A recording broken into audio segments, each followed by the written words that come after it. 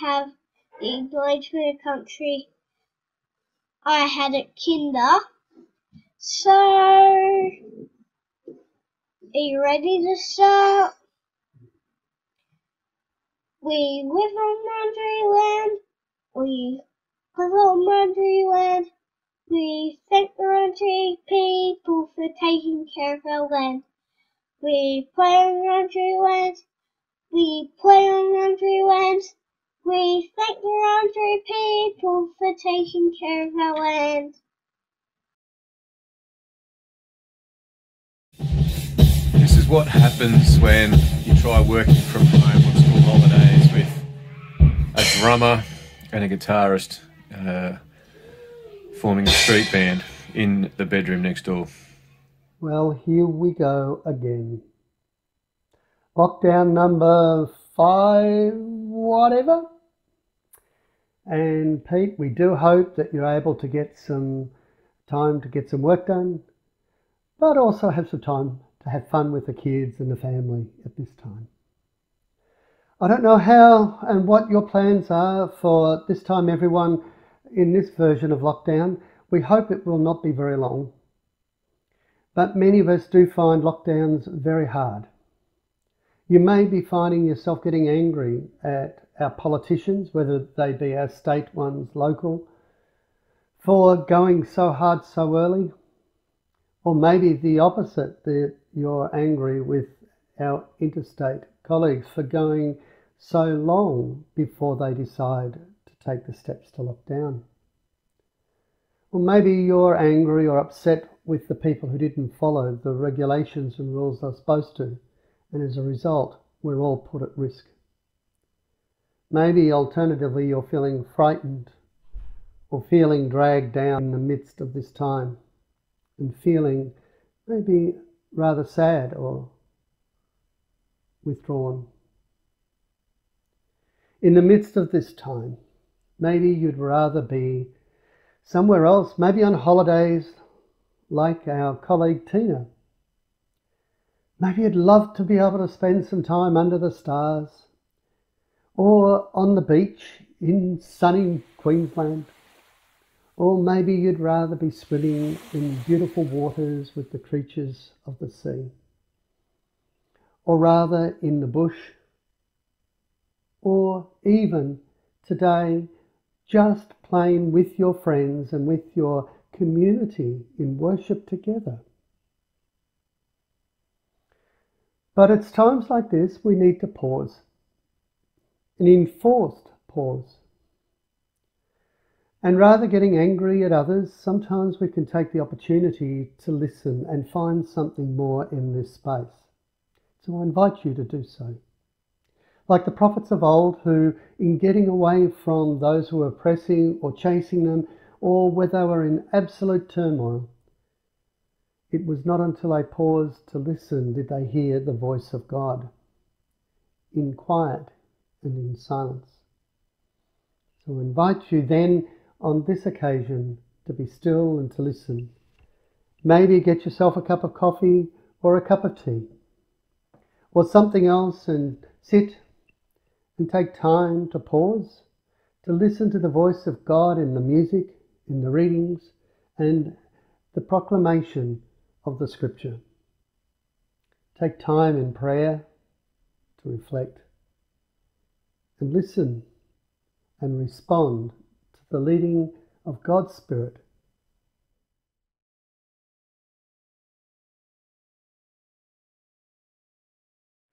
God's Word in the flesh, God's Word in the ancient book, listening. We're a listening people. God's Word in the wind, God's Word coming fresh today, listening. We're a listening people. What is God's present work? How are we stirred? Where might we open now to deeper love for the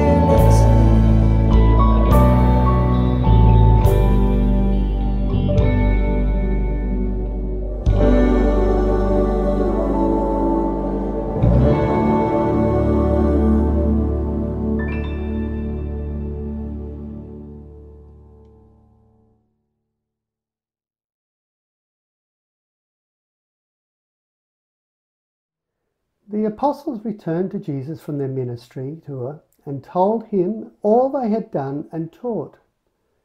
And then Jesus said, Let's go off by ourselves to a quiet place and rest a while. He said this because there were so many people coming and going that Jesus and his apostles didn't even have time to eat. So they left by boat for a quiet place where they could be alone. But many people recognized them and saw them leaving, and people from many towns ran ahead along the shore and got there ahead of them. Well, Jesus saw the huge crowd as he stepped from the boat, and he had compassion on them because they were like sheep without a shepherd. So he began teaching them many things. Well, late in the afternoon, the disciples came to him and said, This is a remote place and it's already getting late. Send the crowds away so they can go to near the nearby farms and villages and buy something to eat. But Jesus said, You feed them. With what? They asked. We'd have to work for months to earn enough money to buy food for all these people. Well, how much bread do you have? he asked. Go and find out. And they came back and reported, We have only five loaves of bread and two fish.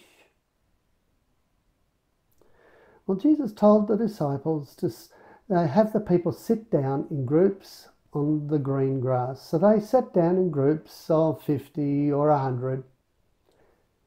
Jesus took the five loaves and the two fish and he looked up towards heaven and blessed them. And breaking the loaves into pieces, he kept giving the bread to the disciples so they could distribute it to the people. He even divided the fish for everyone to share. And they all ate as much as they wanted. And afterwards, the disciples picked up 12 baskets of leftover bread and fish. A total of 5,000 men and their families were fed. Immediately after this, Jesus insisted that his disciples get back into the boat and headed across the lake to Bethsaida while he sent the people home. After telling everyone goodbye, he went up into the hills by himself to pray. Late that night, the disciples were in their boat in the middle of the lake, and Jesus was alone on the land. He saw that they were in serious trouble, rowing hard and struggling against the wind and the waves. About three o'clock in the morning, Jesus came toward them, walking on the water. And he intended to go past them, but when they saw him walking on the water, they cried out in terror, thinking he was a ghost. They were all terrified when they saw him. But Jesus spoke to them at once Don't be afraid. Take courage, I'm here.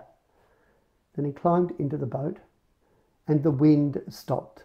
They were totally amazed, for they still did not understand the significance of the miracle of the loaves.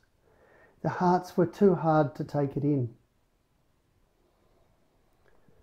And after they crossed the lake, they landed at Gennesaret. They brought the boat to shore and climbed out, and the people recognized them at once, particularly Jesus.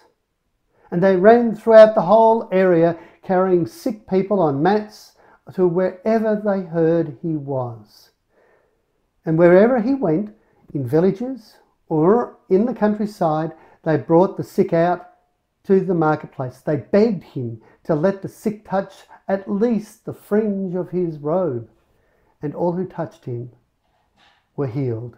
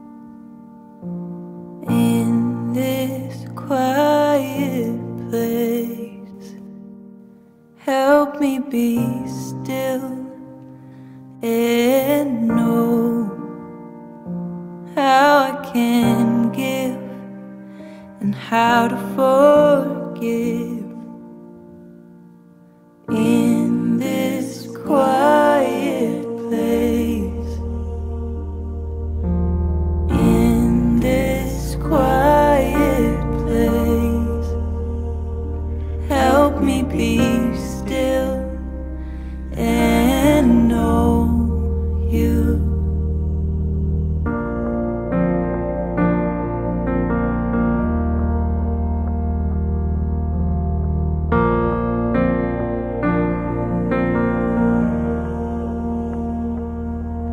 Like Jesus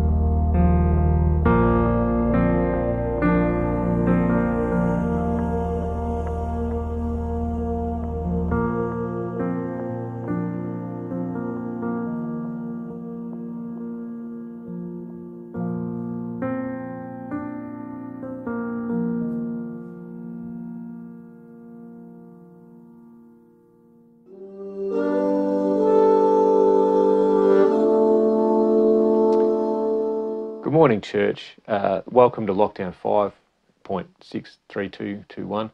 Um, hopefully, in this space, you find some rest. Hopefully, in this space, you find something to contemplate and consider. So, um, out of our reading today, there's a number of things that hopefully are provocative and hopefully they get you thinking. Whenever we read Mark, it's really important that we have an understanding that this is about non-violent social revolution. There are concepts within Mark, and being the first gospel as well, there's concepts within this that are complete upheaval from the status quo.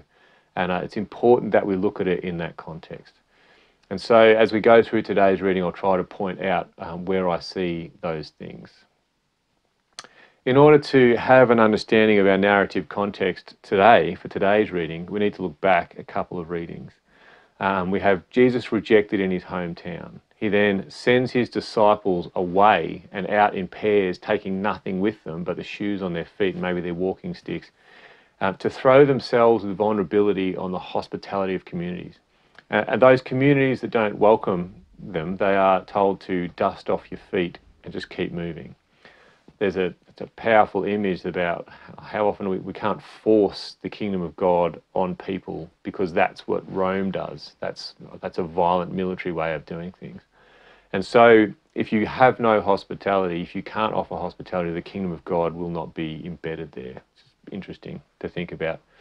Um, then we have the death of John the Baptist. Speaks truth to power, um, creates creates a, a, problem of truth, and uh, and when he creates a problem of truth, he's killed by the authorities.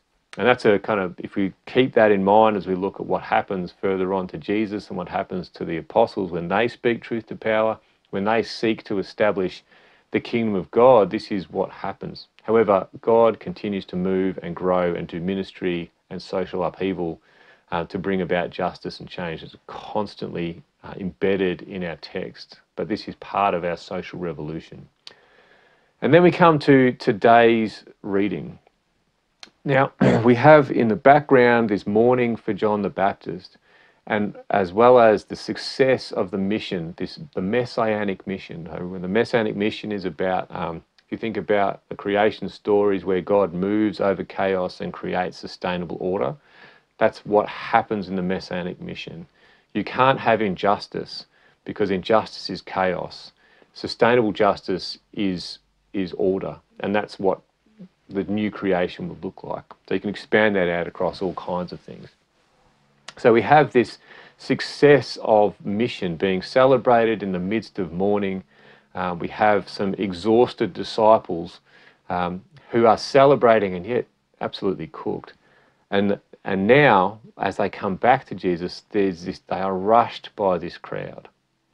Now, the issue for Jesus and the disciples is if they turn away from the crowd and don't offer hospitality and teaching to them, then all of the work that they've done previously is undermined because if the, the Pharisees, the temple elite system, and Rome always take and never give, There's, it's not equitable and therefore it's not sustainable. Now, if the disciples turn away from the, uh, the need for hospitality, they have just become another version of Rome or another version of the temple elite. And so they have to find a way to, to minister and rest at the same time. Um, but this, this imagery of rest is about Sabbath. And how often do we take a Sabbath from ministry? Um, how often do we rest in God for a moment, uh, let alone 24 hours? Um, I think that's an interesting question to ask ourselves. This creates this beautiful image then of hungry people, tired disciples, and in the midst of that, Jesus. And so, what when they retreat into the wilderness, which is a interesting image because that's where John's mission started. They retreat into the wilderness, and in the in that place, Jesus says, "Sit down." Now, in the wilderness, if we think back to what happens in wilderness spaces, when the when the Hebrew people are walking from Egypt, they're in the wilderness. And in the midst of the wilderness, God feeds them with enough. God's hospitality is enough in the wilderness. And so now we have this image of wilderness, hungry disciples, and the Messiah and the Messiah's followers, all in this wilderness place once again. So now what happens? Well, God's hospitality becomes enough. Jesus challenges the disciples to show hospitality, and they don't know how to do it.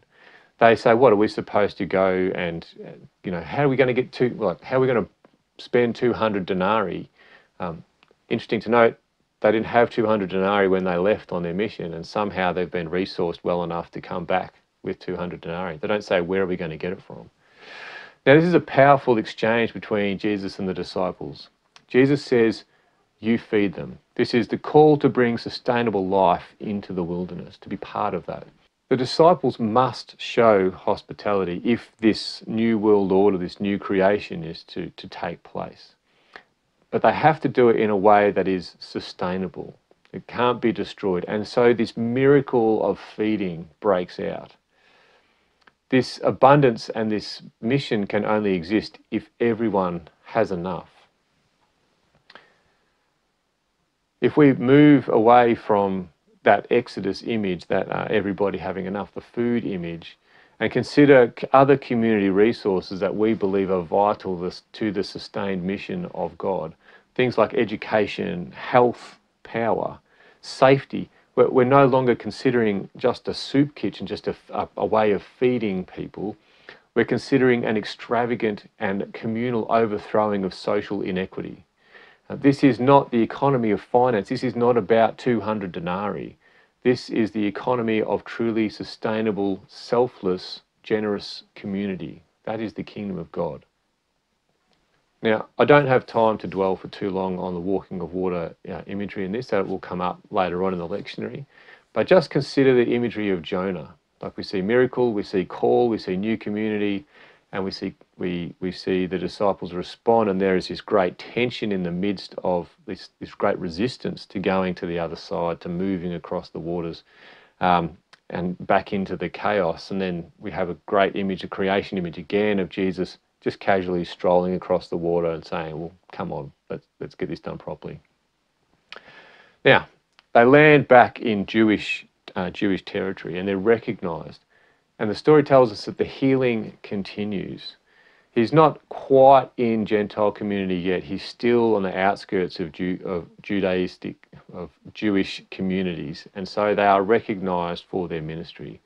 And it's interesting to note that the further he moves from Jerusalem, the further away from the seat of power he gets, the more ready and responsive and desiring of the messianic mission are the people. The closer he gets to the center of power, the more danger he is in.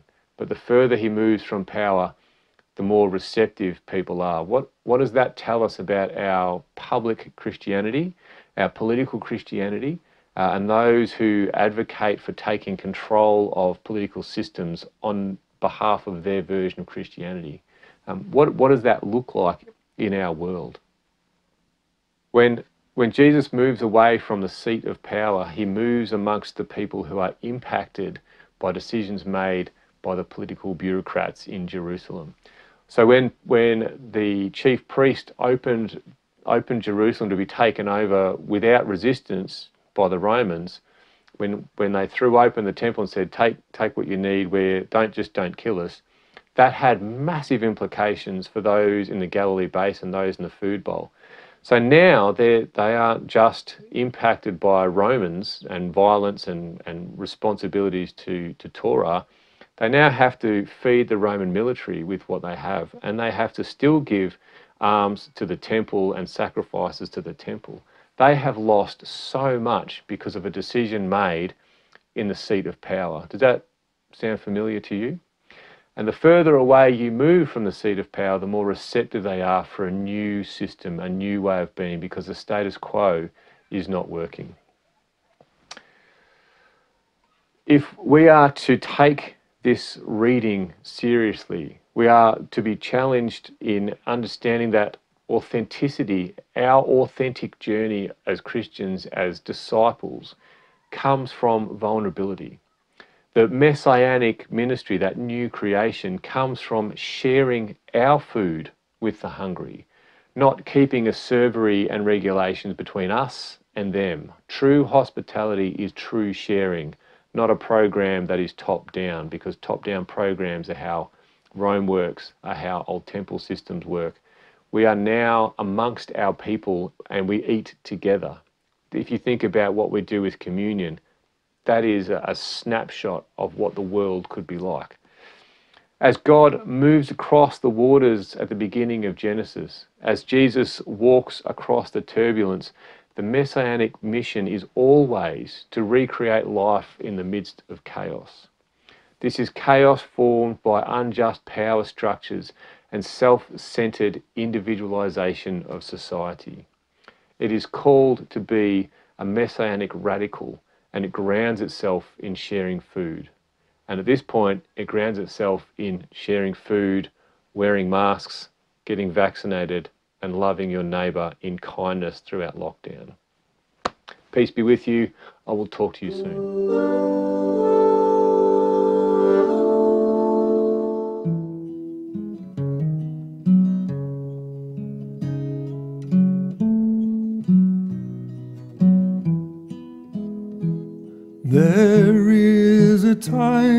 Silence, a time to listen well, a time to hear the painful stories others have to tell.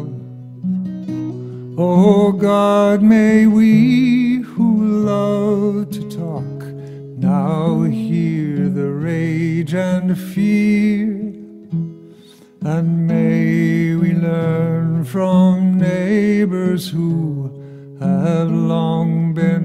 silenced here. There is a time for asking, a time to pause and pray there is a time to hear the prophets speak of God's new day, to hear the words of Jesus, who taught welcome, truth, and love. To hear the Spirit speaking through the ones who shout, Enough. There's time for humble study, for reading and for thought. God, may we learn from others of the justice they have sought. And may we learn from those who bravely stand against the hate. So when we're called to justice, we, your church, won't hesitate.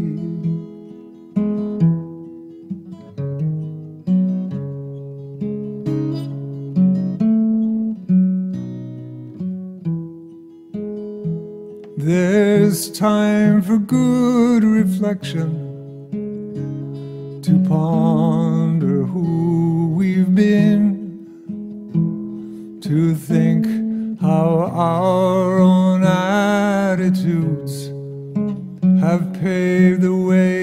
for sin, to listen to the ones we fear, to folks we may resent to hear of Jesus call to love and humbly to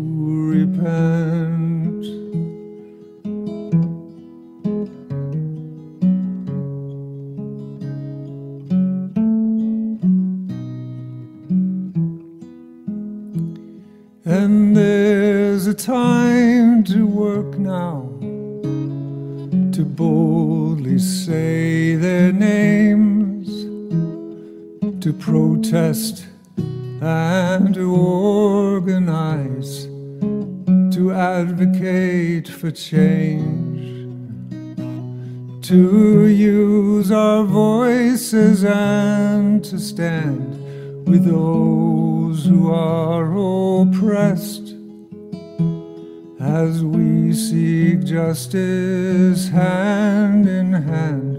Lord, may your world be blessed. As we seek justice hand in hand, Lord, may your world be blessed.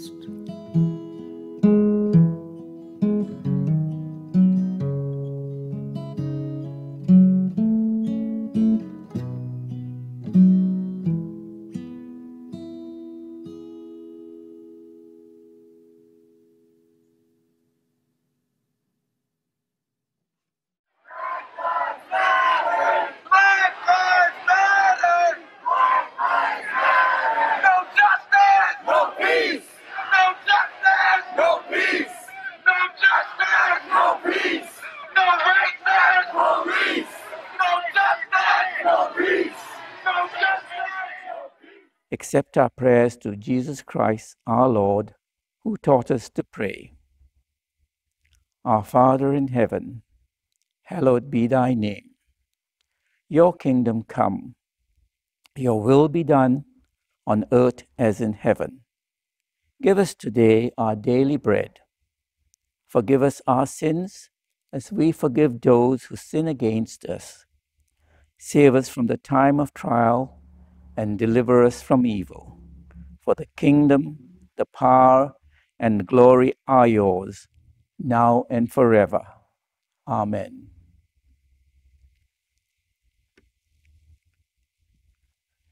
We will now do the candle prayers.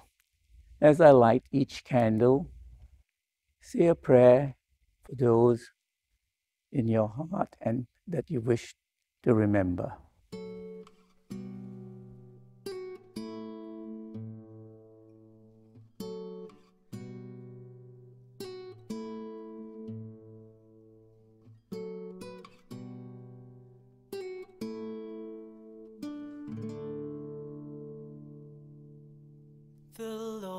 Bless you, bless you and keep you, and make his face shine gently on you. The Lord be gracious unto you, lift up his countenance. As we leave this place, may you be enough. Enough that you share your food, enough that you laugh from your belly, enough that you grieve with all that you are. May you be enough, because enough is all that God is calling you to be.